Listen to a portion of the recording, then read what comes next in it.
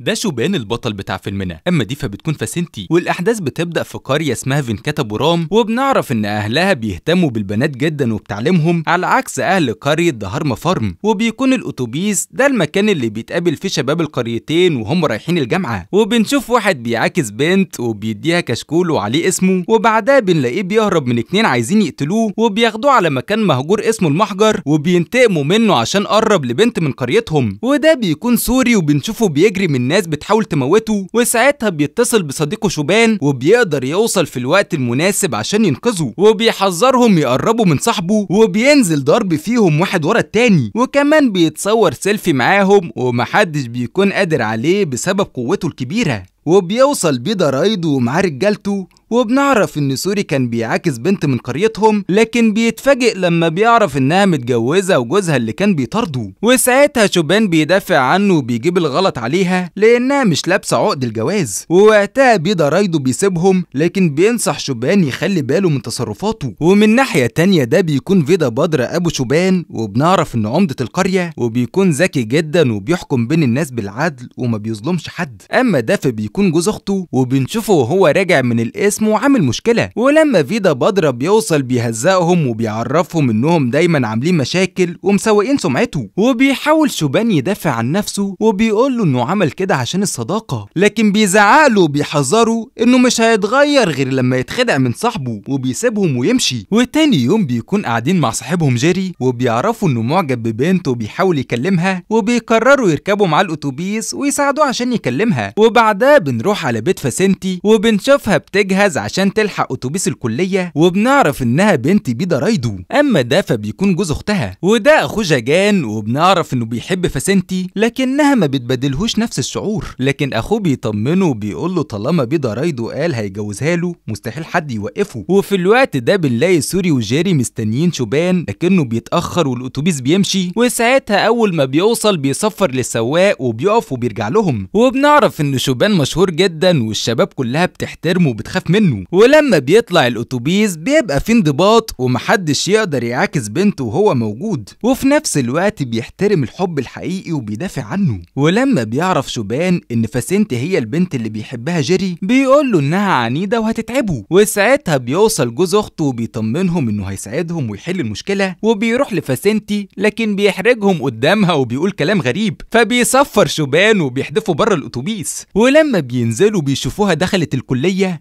وبيقرروا يستنوها في ورشة واحد صاحبهم اسمه كدار. وبنعرف إنهم كانوا شلة أصحاب من خمس أفراد. وبعدها بتطلع فاسنتي وأول ما بتشوفهم بتسيبهم وتمشي. وساعتها شوبان بيستخدم ذكائه وبياخد رقم صاحبتها وبيغير صوته لصوت بنت وبيقدر يضحك عليها وبيخليها تديله رقم فاسنتي ووقتها بيتصل بيها جيري لكنها بتزعق له وكمان بتقفل السكة في وشه. وتاني يوم شوبان بيغير الخطة وما بيركبوش الأتوبيس على طول. وفعلا فاسنتي بتبقى متضايقة وعمالة تدور عليهم. ولما بيطلعوا بيروح لها جيري وبيحاول يكلمها لكنه بيتوتر وبيضحكوا عليه. ومع الوقت بيفضل شوبان يحاول معاه بكل الطرق عشان يخلي فاسنتي تحبه. وفي يوم بيوصل مدان وبنعرف إنه من شلة شوبان وبيكون معاه واحد صاحبه اسمه تشيتي وبيقول له إنه معجب بفاسنتي وجيري بيقطع عليه. وساعتها بيقرر شوبان يديله شهر كامل يحاول فيه معاها ولو رفضته جيري هياخد مكانه. وفعلا تاني يوم بيطلع تشيتي الأتوبيس ومحدش فيهم بيروح وراه وفاسنتي بتكون متضايقة ولما بينزلوا بيعترف لها بحبه. فبتهزقه وبتضربه بالقلم وبيكون خايف جدا منها. وبعد ما الشهر بيخلص بيطلعوا للأتوبيس وبيلاقوا تشيتي مستخبي ورا وبيعرفوا شوبان إنه خلص المدة بتاعته وبيجبره ينزل. وساعتها سوري بياخد باله إن فاسنتي بتبص لشوبان وبتكون معجبة بيه. ولما بيسأله بنعرف إنه كان بيحبها وهم في المدرسة وبيروح وراها في كل مكان وبيحاول يقرب لها.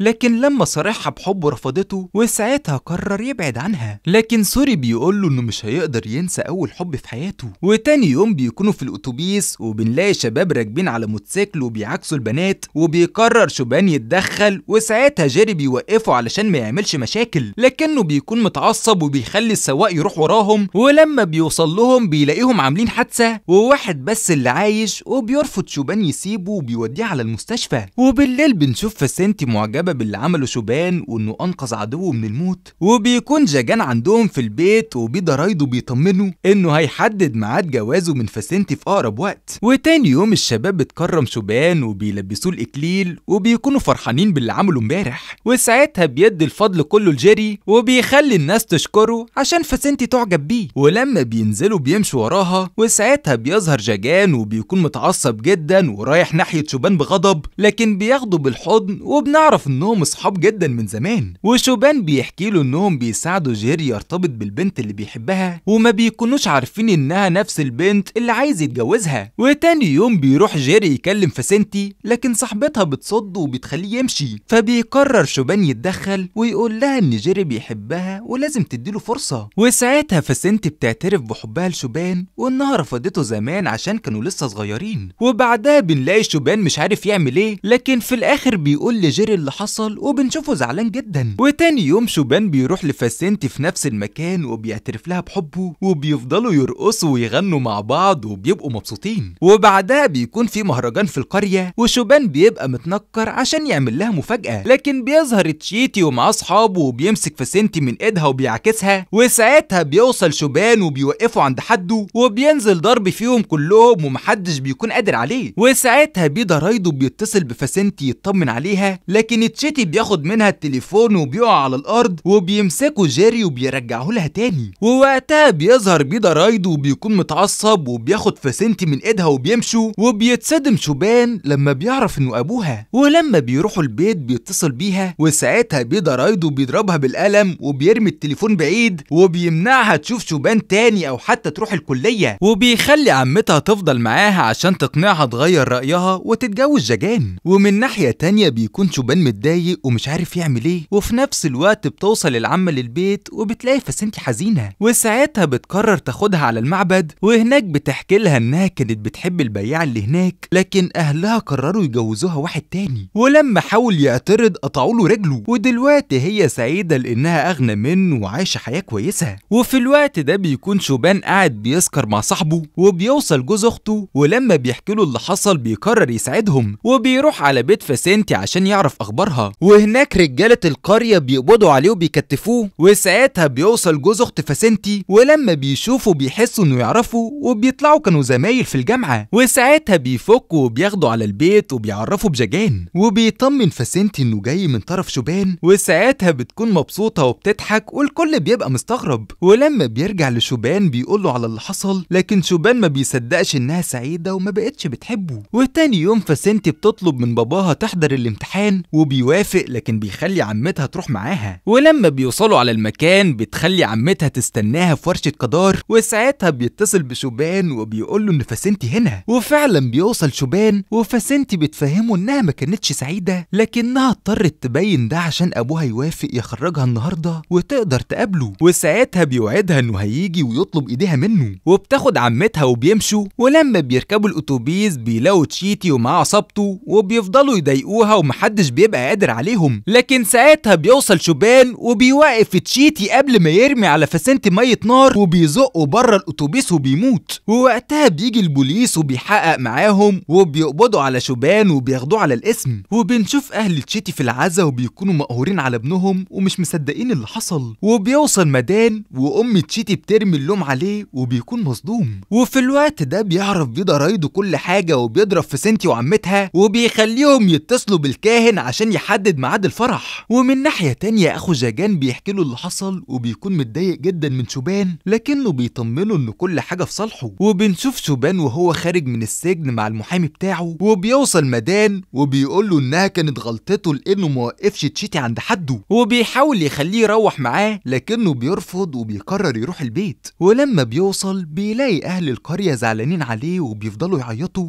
وفجأة بيدخل أبوه بيزعق لهم وبيخليهم يمشوا بره.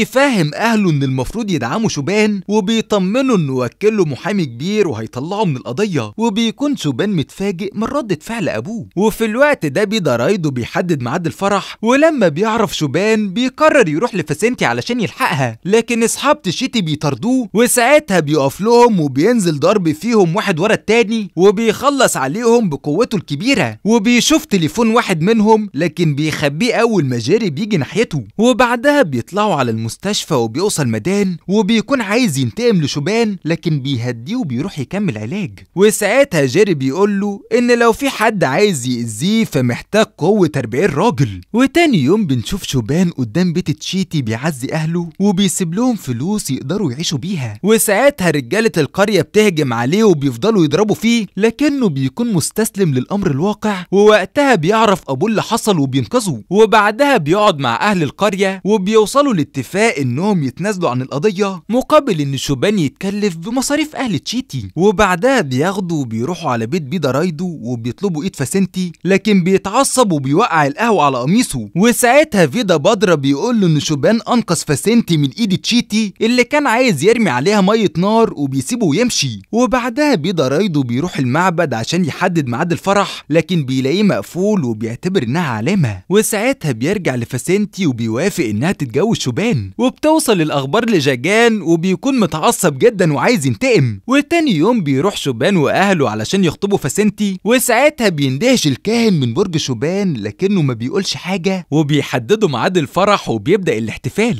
وتاني يوم بنلاقي جاجان مع مدان وبيقول له إنهم لازم ينتقموا من شوبان ويقتلوه. وفي الوقت ده شوبان بيكون قاعد مع أهله وبيطلع ابن أخته على سلم عشان يصورهم. وقبل ما يقع بينقذوا شوبان لكنه بيتعور. وساعتها الكاهن بيقول إن حياته مهددة بالخطر بسبب جوازه من فاسنتي فبيربط خيط على إيده وبيخليه ما يشيلهوش لحد ميعاد الفرح. وساعتها بيوصل مدان وبيعرفه إن جاجان كان هو عريس فاسنتي وبيحسسه بالذنب وبيقول له إنه منعه من الانتحار ولازم يقابله. وساعتها بيسيبه وبيروح لجاجان ويتأكد إن كل حاجة في مكانها وبنعرف إنهم ناصبين كمين لشوبان عشان يقتلوه. وقبل ما يتحرك أبوه بيخليه ياخد معاه جيري عشان يطمن. وفعلا بيقابلوا مدان وبيوديهم المحجر وبيحاول شوبان يكلم جاجان لكن بيسحبه ورا عشان يقع في الفخ. وفجأة بيطلع عليه الاتنين اللي قتلوا الشاب في أول الفيلم وبيضربوه على راسه. ومدان بيهدد جيري بالسكينة وبيضربوا جاجان بالحديدة وبيقع منه الخيط بتاع الكاهن. وساعتها بيوقعهم شوبان وبيقدر يهرب وبيروح لجيري لكن بيخونه وبيضربه بالسكينة في ظهره. وبنعرف إن هو اللي بلغ عليه أبو فاسنتي وكمان حرض مدان عشان يقتله. وبيلاقي شوبان نفسه واقف قدام صحابه وكلهم عايزين يقتلوه وساعتها بيختفي من قدامهم وبيقتل أول واحد بطوبة على دماغه وبيضرب التاني بالمجرفة لحد ما بيقضي عليه. وبعدها بيروح على مدان وبيفضل يضرب فيه لحد ما بيقع على الأرض. ولما بيوصل جاجان بينزل عليه ضرب وبينتقم منه وما بيرحموش وبيحاول جيري يهرب لكنه بيحدفه بالمجرفة. وساعتها بيقول لمدان إنه عارف إن هو اللي بعت أصحاب تشيتي وراه. وبنفهم إن جيري هو اللي قتل تشيتي وشوبان ستر عليه ودخل مكانه السجن. وكمان بيعاتب جاجان عشان عايز يتجوز واحدة ما بتحبوش. وبيمشي وهو حزين على أصحابه اللي خانوه. وساعتها بيقابل سوري وقدار. لكنه بيرفض يفتن على جرايم صحابه للشرطة. وبتعدي السنين وبيخلف شوبان. وابنه بيبقى نسخة منه. وبيدافع عن صحابه وبيحترمهم. ومن هنا بيخلص فيلمنا لو عجبك الفيديو دوس لايك واعمل اشتراك لقناتنا فيلم في حدوتة. وفعل زر الجرس. واستنونا في فيلم جديد.